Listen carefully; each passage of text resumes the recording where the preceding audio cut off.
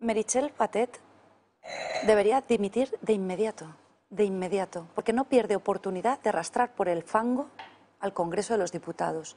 La semana pasada, el Grupo Parlamentario Vox, yo personalmente, en la Junta de Portavoces, solicitamos su inmediata dimisión porque habíamos conocido, el día anterior se nos había notificado la sentencia del Tribunal Constitucional que estimó el recurso de Vox y declaró inconstitucional el secuestro del Congreso impulsado por la señora Batet Cierto.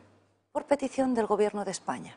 Eso motivó que ya la semana pasada Vox exigiera su dimisión inmediata y que asumiera las responsabilidades que debe asumir y se negó. Ahí está, enganchada la silla. Pero es que acto seguido, y aquí lo difícil es seguir los acontecimientos con la velocidad con la que se van sucediendo, tenemos este choque inadmisible entre el poder legislativo y el Poder Judicial. Lo que acaba de hacer el portavoz de Podemos, atacando ad hominem, a título personal, al magistrado Marchena, es inadmisible. Pero es que ya sabemos lo que es Podemos, es antisistema, es rebeldía democrática permanente. ¿Por qué ahora Podemos, que lo entienda la ciudadanía, por qué ahora Podemos se está rebelando contra la señora Batet? No porque la señora Batet cumpla con el Estado de Derecho, ni muchísimo menos. De hecho, lo que ha hecho la señora Batet es llevarnos a un choque con el Poder Judicial absolutamente inadmisible. Cuando hace unos días conocimos por los medios de comunicación que el Tribunal Supremo condenaba al eh, diputado Podemita, pateador de policía. Recordemos que estos son los hechos por los que se le ha mm. condenado en sentencia firme, porque como es aforado, se dicta por el Tribunal Supremo y es firme, es decir, no cabe recurso ordinario.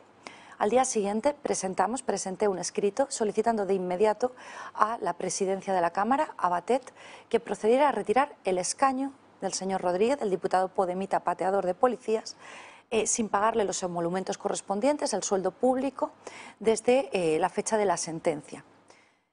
Se desestimó nuestra petición en base a un informe fantasma que Batet se sacó de la chistera aceptando las presiones de Podemos, un informe sin sello de entrada de registro. Ese es el famoso informe de los letrados. Efectivamente, emitido sin firmar por nadie. Por los letrados de la Cámara, sin eh, firma, sin sello y nadie reconociendo la autoría. Y se amparó en ese informe que hacía suyos los postulados de Podemos para mantener en el escaño al señor Alberto Rodríguez. Eso motivó que la semana pasada en Junta de Portavoces acto seguido de pedir su dimisión por el secuestro del Congreso y la sentencia del Constitucional, le solicitara en junta de portavoces que desvelara quién había pedido ese informe. Y se negó a responder, con la poca vergüenza de que acto seguido se dedicó a través de su gabinete de prensa a filtrar a los medios de comunicación que los letrados del Congreso habían dictado, habían emitido ese informe de oficio.